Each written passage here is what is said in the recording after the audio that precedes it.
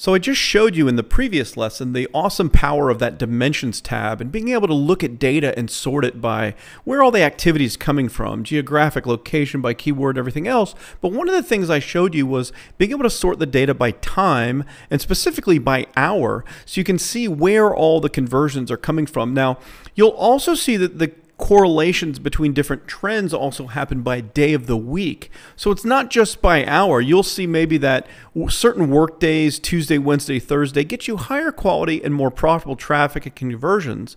And if that's the case, then you want to, for some keywords at least, schedule them to only run, those ads to only show during those times where the most profitable conversions happen. Because the more we can cut the fat, as I like to say, and get rid of the stuff that doesn't perform as well, we can really optimize our profit and make more money.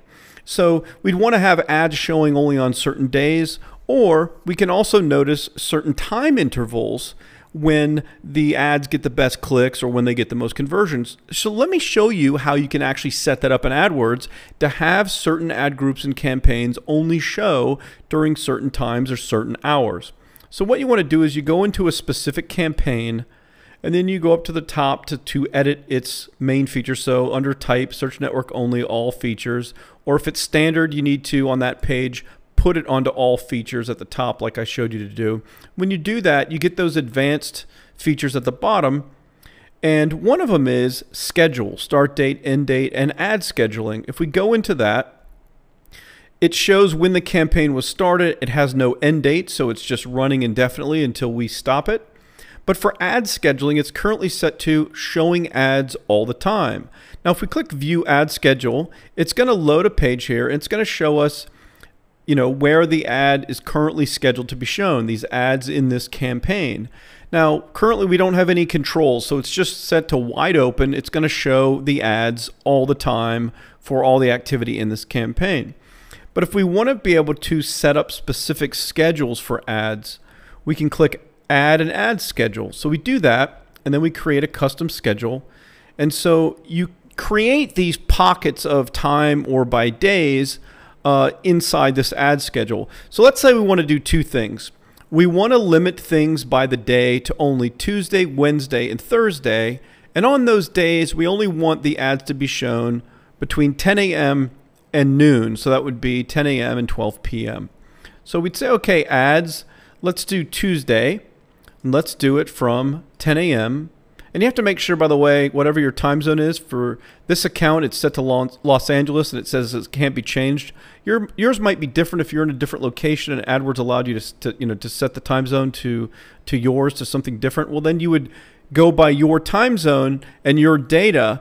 But remember, if you're targeting things in a different country, a different time zone, you'll see maybe what's there 3 a.m. may be your noon, but wherever the data is happening according to your time schedule and your reports is is where you want to set the scheduling. Uh, so when the time in the data, I mean, where it shows. So you, you got to make sure to make those correlations because whatever the data shows, it's all based on the time zone in your account, not based on the time zone, uh, you know, where the ad is showing.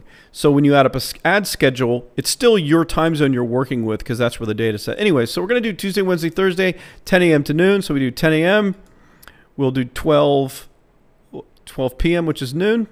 So we've got that. So you see Tuesday, 10 a.m. to 12. So we're going to add this. Now we're going to do Wednesday, 10 a.m., 12 p.m. We'll add one more, Thursday, 10 a.m. And you can only do this at the campaign level. So this is another reason why to take some of your valuable keywords and move them into their own campaigns. So after we do that, we save. And now we can see that these are the ad schedules, and we can see on this little chart up here, this is when they're the ad is actually scheduled to be shown.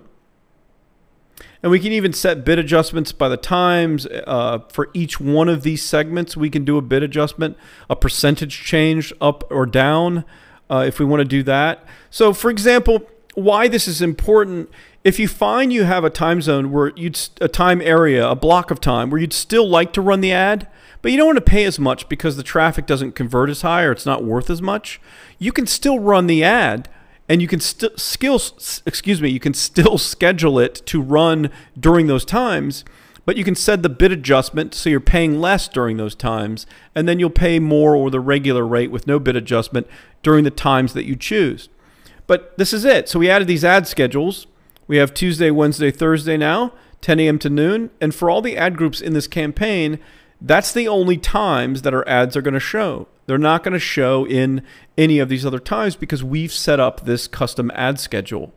So as you can imagine, this is very, very powerful. This is called day parting.